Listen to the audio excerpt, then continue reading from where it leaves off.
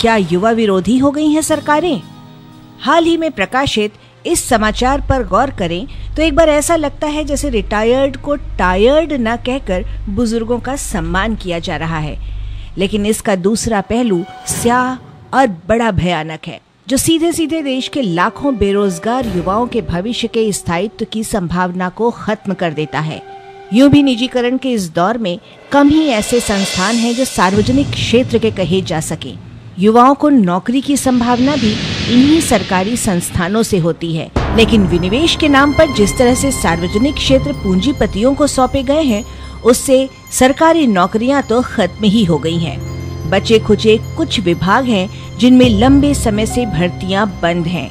लिहाजा जहाँ इन संस्थानों के कर्मचारियों पर कामकाज का बोझ बढ़ा है, वहीं इनकी बढ़ती उम्र से गुणवत्ता भी प्रभावित हो रही है इंसान की कार्य क्षमता के अनुसार सार्वजनिक तौर पर उसकी सेवा के लिए कुछ वर्ष निर्धारित होते हैं। जैसे सेना में सैनिक के लिए 17 साल की सेवा और सिविल क्षेत्र में अट्ठावन साल।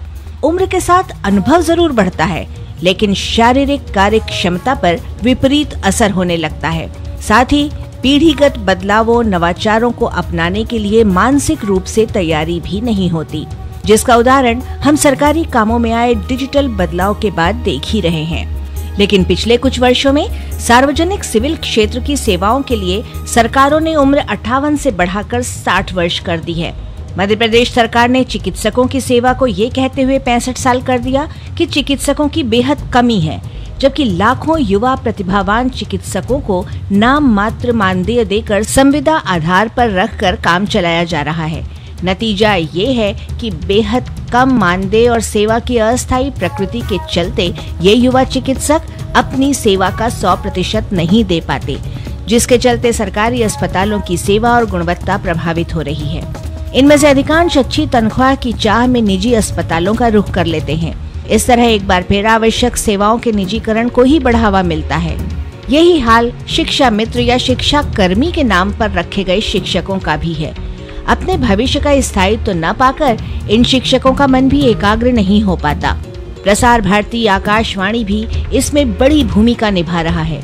अपनी पूरी नौकरी कर चुके रिटायर्ड अधिकारियों को अनुभवी बताकर कंसल्टेंट और एडवर्टाइजर के नाम पर जहाँ विभाग में 75 प्रतिशत स्थानों को भर दिया गया, वहीं 10 से 30 वर्षों से सेवारत अनुभवी आवाजों को ये कहकर बाहर किया जा रहा है कि उम्र के साथ आवाज़ की चमक फीकी पड़ जाती है। जबकि उम्र का आवाज़ की गुणवत्ता से कोई वास्ता नहीं जिसका साक्षात उदाहरण बिना का गीतमाला के उद्घोषक अमीन सयानी या गायिका लता मंगेशकर हैं। लगातार उपयोग और अभ्यास से ये आवाज़ें और मधुर होती गई हैं।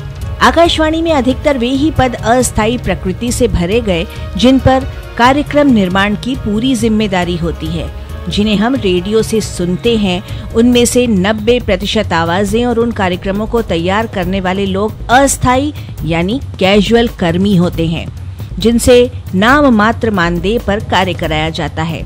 ये कर्मी भी शिक्षा कर्मियों या संविदा चिकित्सकों की ही तरह अपनी सेवाओं के स्थायित्व की लड़ाई बरसों से लड़ रहे हैं। अपनी सेवाओं के स्थायीकरण की आस लगाए, इन युवाओं की उम्र धीरे धीरे बढ़ रही है और साथ ही बढ़ रहा है एक तरह का अवसाद, जो इन युवाओं को समय से पहले बीमार कर रहा है। इनमें से कुछ खुदकशी जैसे खतरनाक स्तर पर पहुँच गए या बागी हो गए हैं, जिनका फ़ायदा अलगाववादी आतंकी उठा रहे हैं।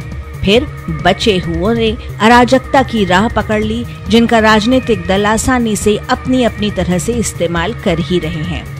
चिंतनीय ये है कि खुद के लिए स्थायित्व तो तलाशने वाली सरकारें हम युवाओं के स्थायी और सुनिश्चित भविष्य के लिए कब काम करेगी? क्या हमारा युवा हिंदू मुस्लिम की बहस में पढ़कर अपने मकसद को भूल गया है? या मंदिर मस्जिद निर्माण में अपना सुनहरा भविष्य देख रहा है? क्या युवा ये सब सोच पा रहा है? या रोज के एक जीबी तथा कथित फ्री डाटा का इस्तेमाल कर अपने भविष्य से बेखबर है?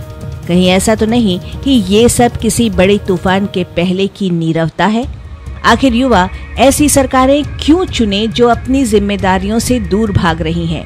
आखिर युवा ऐसी सरकारें क्यों चुने जो मुख्य मुद्दों से हटकर फिजूल बहसों से भरमा रही है? आप ही बता दें, युवा वोट आखिर क्यों दे?